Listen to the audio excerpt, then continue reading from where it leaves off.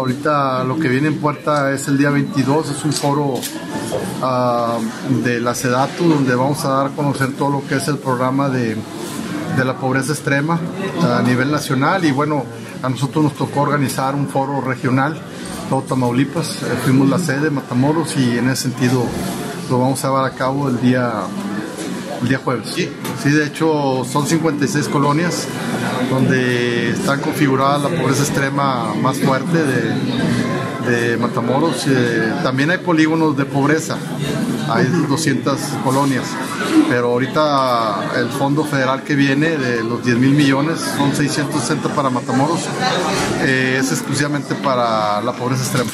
En el foro, ¿quiénes van a participar? Eh, Vienen conferencistas a través de la modalidad de, paneles, eh, vienen conferencistas de México.